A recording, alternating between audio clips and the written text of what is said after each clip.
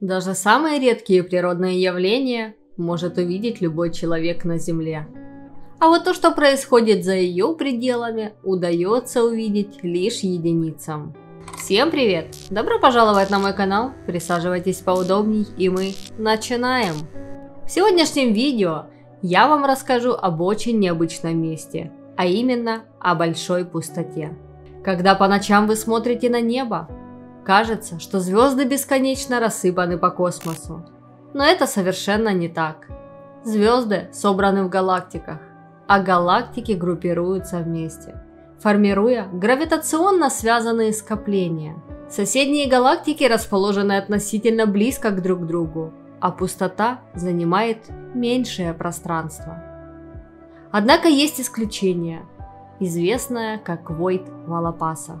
Это невероятных размеров область пустого пространства, не наблюдаемая где-либо еще в известной нам Вселенной.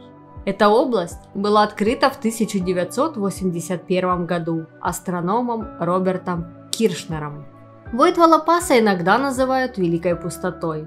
Это огромный сферический регион пространства, в котором находится крайне мало галактик.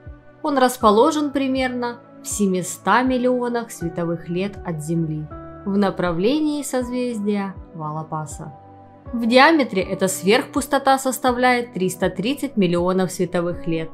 И это самая крупная известная пустота во Вселенной. Вскоре после открытия Войда Валапаса астрономы стали замечать, насколько уникальна эта область. Сначала они смогли найти всего 8 галактик в ней. Но дальнейшие наблюдения помогли обнаружить целых 60 в огромном пространстве диаметром в четверть миллиарда световых лет. Попытки найти объяснение привели к разработке новой теории, предполагающей, что сверхпустоты образуются в результате слияния более мелких пустот. Олдринг как-то заметил, что галактики, находящиеся в пустотах, принимают любопытные формы трубчатой структуры. И это очень важная зацепка. Кроме того, он предположил, что Войт Валапаса образовался после слияния меньших пустот, подобно тому, как мыльные пузыри сливаются в один большой пузырь.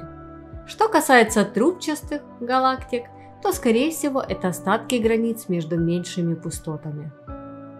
Также можно предположить еще более радикальный вариант развития событий, который едва ли рассматривался в научной литературе. Так, Войт Валапаса мог образоваться в результате расширения цивилизации. Учитывая то, что Войт Валапаса находится примерно в 700 миллионах световых лет от Земли, а разумная жизнь во Вселенной могла возникнуть около 4 миллиардов лет назад, у такой древней цивилизации было предостаточно времени для осуществления этой удивительной космологической инженерии. Природа пустоты предоставляет пищу для размышлений. Безусловно, посетители этой области были бы, мягко говоря, ошеломлены такой изоляцией, учитывая экстремальное расстояние между галактиками и видом далекого космоса, который бы выглядел чернее черного. Более того, Войт Валапаса, вероятно, самый идеальный вакуум в космосе, на эффект которого также стоит обратить внимание. Войт Валапаса еще одно скромное напоминание о безграничности космоса. Вселенная, которую мы видим, невообразимо огромная для нашего понимания, а наше место в ней удивительно мало. Но насколько бы одиноки мы ни казались сами себе на нашем маленьком голубом шаре, во всяком случае у нас есть возможность созерцать звездный пейзаж. Всем спасибо, что досмотрели этот выпуск до конца. Подпишитесь на канал и жмякните большой палец вверх. Берегите планету и всем пока!